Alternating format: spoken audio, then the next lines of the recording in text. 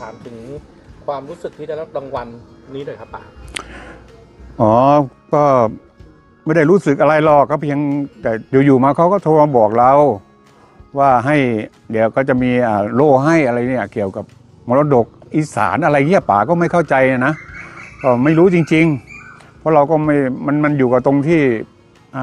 ผู้หลักผู้ใหญ่เขาแหละเขาจะมอบให้ไงเราก็ไม่รู้เรื่องอะไร อะไรอย่างเงี้ยรายละเอียดป๋าป๋าไม่ค่อยรู้เรื่องหรอก เพราะป๋าก็ไม่ไม่ไม่ค่อยเข้าใจเท่าไหร่หรอก แต่ไม่รู้เขาเอามาให้เราก็เออ เราก็ขอบคุณเพราะว่าค่าเขาให้ไปไปรับเราก็ไปรับนั่นแหละ อืมมันก็ไม่มีอะไร แล้วภูมิใจไหมครับเอ่อภูมิใจไหมครับว่าในฐานะที่ป๋าเป็นคนอีสานในรางวัลตัวเนี้ยเอ๊ะมันก็ไม่รู้เราก็ไม่ค่อยได้ตื่นเต้นอะไรด้วยหรอกก็คือธรรมดาแหละ มันเป็นเรื่องธรรมดาป๋าก็ไม่ใช่ว่าจะมันต้องมาตื่นเต้นอะไรมากมายหรอกเรื่องพวกเนี้ยมันก็ครับว่าเออได้ก็ดี เราก็ภูมิใจเออที่ว่าเออว่าอ่าสังคมก็ยังเออมองเห็นคุณค่าของเราบ้างเว้ยอะไรเงี้ยบอกแล้วรายละเอียดมันต้องไปถามเขาล่ะป๋าไม่รู้เรื่องหรอกเรื่องพวกนี้ แล้วป๋าพอจะรู้เรื่องไหมครับว่ามีคนเข้ามาคอมเมนต์ในฐานะทำนองที่ว่าประเทศเนี่ยไม่เหมาะสมกับรางวัลนี้เพราะว่าไม่ใช่คนอีสานแท้ ไม่เคยพูดอีสานเลยหรอกผมลาวเป็นลาวพวนป๋าเนี่ยเป็นลาวพวนป๋าไม่ได้เป็นลาวอีสานอย่างนั้นหรอก แต่จริงๆว่าแต่ปู่นี่เป็นคนร้อยเอ็ดอ่าตาเป็นคนศรีสะเกดแต่ว่าเรามันเชื้อก็เชื้อเชื้อสายอีสานนี่แหละ ก็ไม่ได้เป็นเชื้อก็แต่ว่าเป็นลาวพวนนะ แต่ว่าสายเลือดแล้วก็คนอีสานนั่นแหละฮะก็ในส่วนของรางวัลตัวดังกล่าวเนี่ยถ้าถามความรู้สึกของป๋าจริงๆมองเลยถึงรางวัลตัวนี้ยังไงบ้างมันก็ไม่ไม่รู้ก็อันนี้ไม่รู้จริง ๆ ก็บอกว่าเขาเขาโทรมาบอกแค่นั้นเอง บอกว่าไม่รู้ว่า เราไปทำอะไรบ้าง บอกว่าต้องไปถามเขาแล้วล่ะ เราทำอะไรที่เราที่เราได้เนี่ย นี่จริงๆป๋าก็ไม่รู้จริง ๆ มันต้องไปถามคณะกรรมการเขาหรือว่าครูบาอาจารย์ที่เขามอบให้กับป๋านี่แหละ